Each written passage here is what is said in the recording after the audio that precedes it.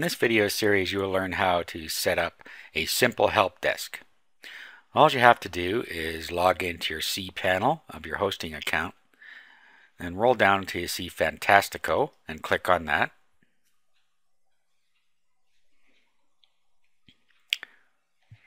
Now roll down to where it says Customer Relationship and then click on OS Ticket. A little install window will pop up. Click on New Installation. And then you just fill in this form. First of all, you have the domain it's going to be installed on should come up automatically. And then next, if you want to install in a directory, you put it here. So we're just going to call it Help Desk. Now you don't have to install it in a directory. You can install it in the main directory by leaving this blank. Then I want you to give it a username and password.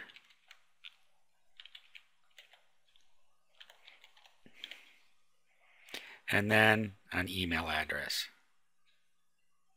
for the admin. Then click Install OS Ticket and then it's telling you that it's going to create a MySQL database for you and where it's going to install it. Click Finish Installation. And then when it's done, it tells you that it has created the databases and the configuration file. And now you can click down here to view your help desk. And you can click here to admin your help desk. I suggest that you go to admin first and bookmark this page. You now have the basic help desk set up. Now we need to set up some categories for our users to be able to select. So key in your username and password you selected.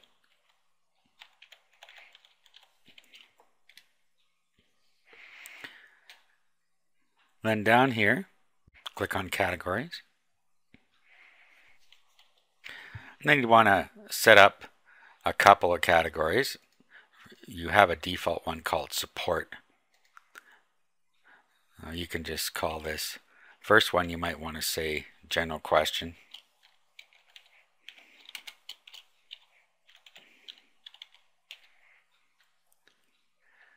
If you're going to use a POP3 account, you can put the information in here. And you can put the email address in here. However, if you leave the above blank, it will just use your web server's email handling system, which is what you're going to want to do in most cases. Here you will put the email address in.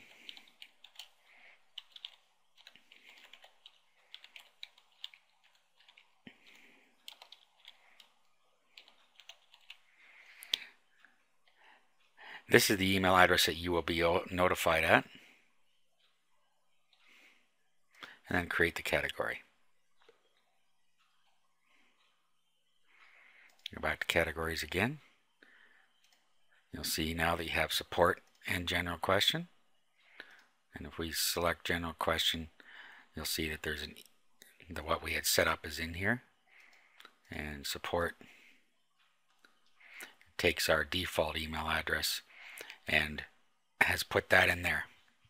So you can change that if you want to something else. Remember, you can also set a signature in here, eh, which will carry a signature out to your with your email that gets sent out from the help desk. And then the next one you might want to add. Click Add New. You might want to put one called JV Request.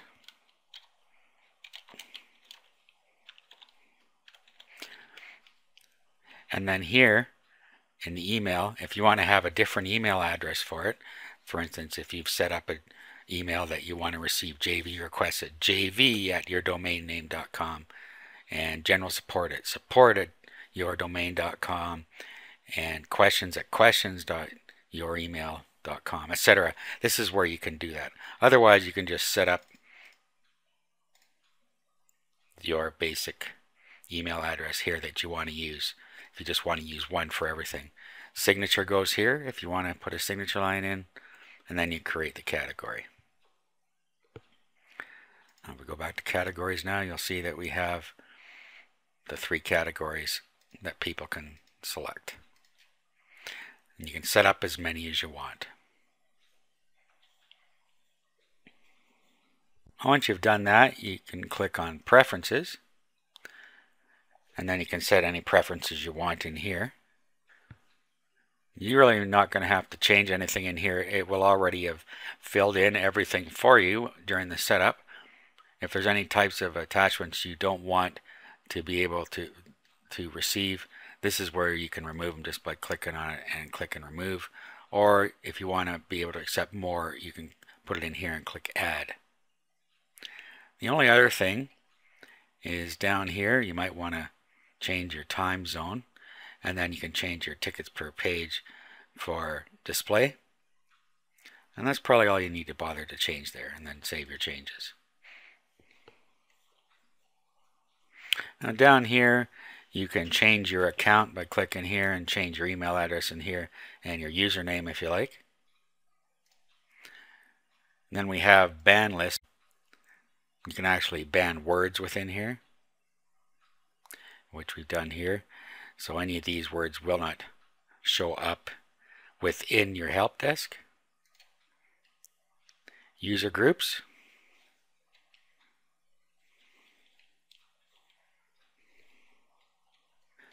You can just basically set up a group that you can add all of your users to. For instance, we select admin. And then this is what the user group admin can access. So you can set up a different type of user group and give them different accesses in here.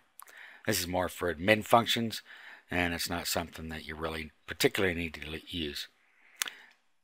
Now representatives, these are people that will be able to log in kind of like a staff member and this is where you can give them the user group and that will take the it will take the permissions of the user group and apply it to them.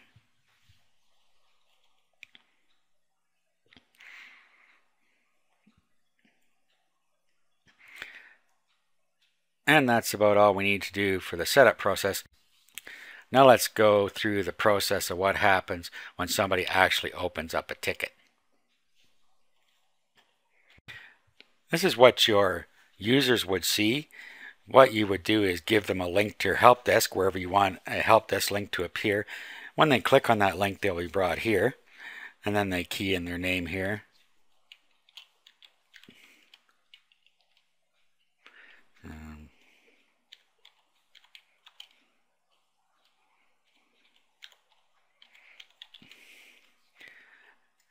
Telephone number is optional. You can put that in. Then this is where they select the categories that you've set up.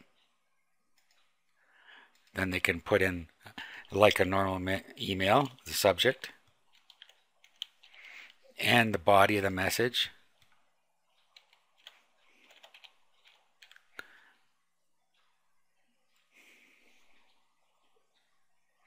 Let's put a valid email address in here.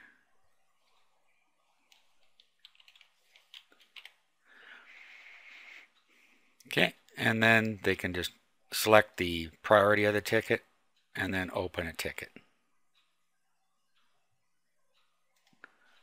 It's telling us got an invalid email because of the character there. There we go, and open the ticket.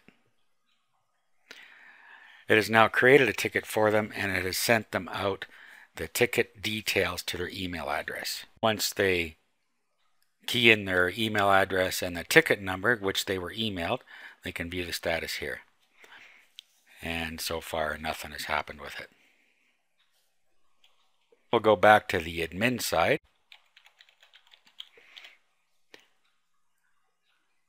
Key in our admin username and password. And we see here's the ticket.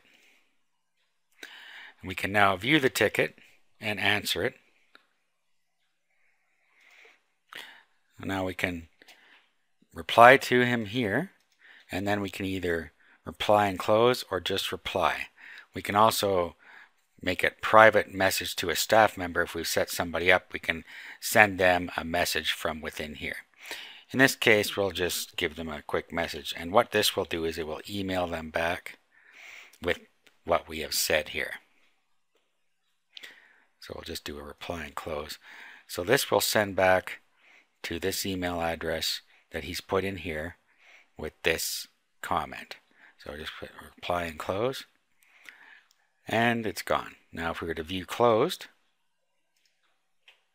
there's the closed ticket. And we can still view it here. So that in a nutshell is how you cr create a, a simple help desk for free.